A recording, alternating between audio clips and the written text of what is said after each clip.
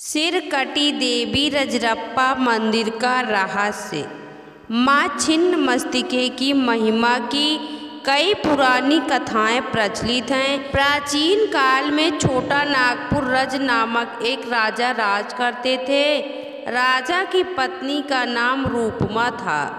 इन्हीं दोनों के नाम से इस स्थान का नाम रज रूपमा पड़ा, जो बाद में रजरप्पा हो गया। एक कथा के अनुसार एक बार पूर्णिमा की रात में शिकार की खोज में राजा दामोदर और भैरवी नदी के संगम स्थल पर पहुँचे। रात्रि विश्राम के दौरान राजा ने स्वप्न में लाल वस्त्र धारण किए तेज मुखमंडल वाली एक कन्या देखी। उसने राजा से कहा, हे राजन इस आयु में संतान न होने से तेरा जीवन सूना लग रहा है। मेरी आज्ञा मानोगे तो रानी की गोद भर जाएगी। राजा की आँखें खुली तो वही इधर उधर भटकने लगे। इस बीच उनकी आँखें स्वप्न में दिखी। कन्या से जा मिली।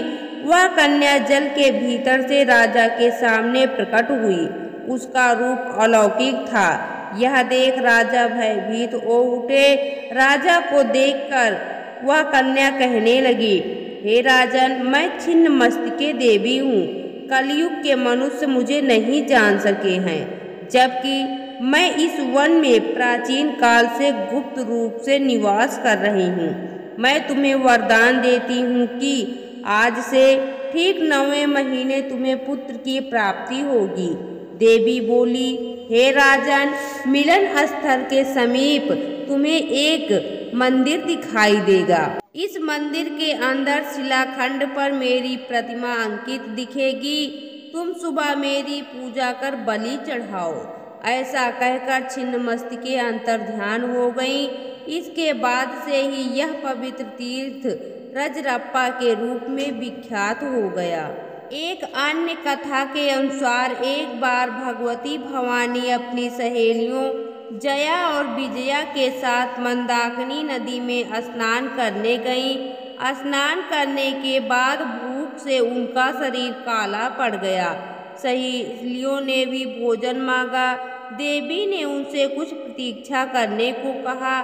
बाद में सहेलियों के विनम्र आग्रह पर उन्होंने दोनों की भूख मिटाने के लिए अपना सिर काट लिया। कटा सिर देवी के हाथों में आ गिरा। वह गले से तीन धाराएँ निकली।